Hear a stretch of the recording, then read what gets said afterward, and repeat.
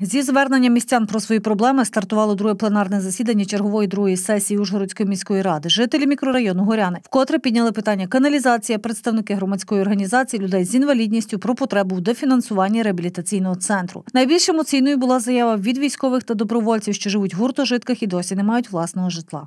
Є діючий, як сказати, військовий в резервному запасі. Ну, по першому визову йшли захищати державу і по нинішній день живемо на 18 квадратів. 90 років ми стоїмо очі простих Практично е, всіх е, е, учасників бойових дій в Афганістані забезпечили земельними ділянками. І що ще далеко до нашої діяльності були, надавалося житло воїнам-афганцям. В минулому році ми надали одну квартиру учаснику бойових дій в Афганістані.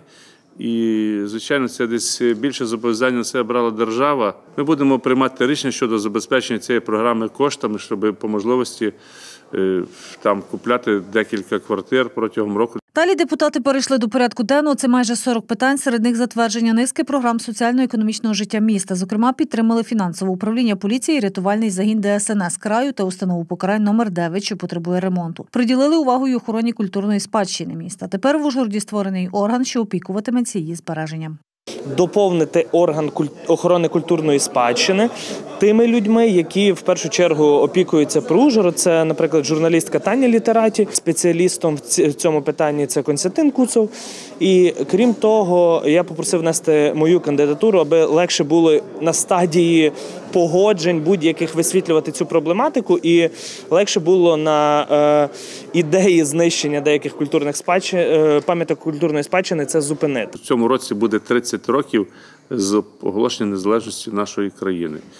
Є така пропозиція, щоб встановити 30-метрову матчу з, з прапором держави Україна на площі Богдана Хмельницького.